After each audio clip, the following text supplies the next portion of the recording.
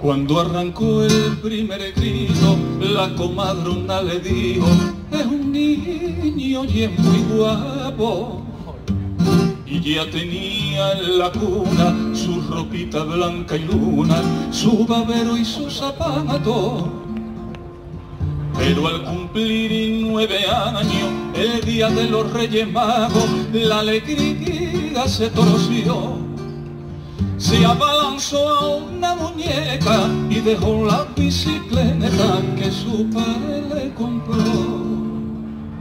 siempre ocultando su gusto por el que dirá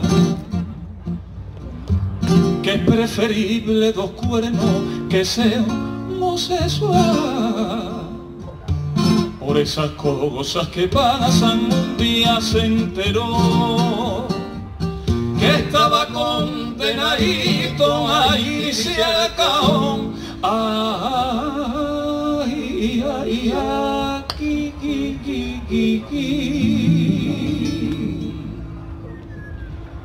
Desde niño tuvo que tragarse. Fulanito es marido,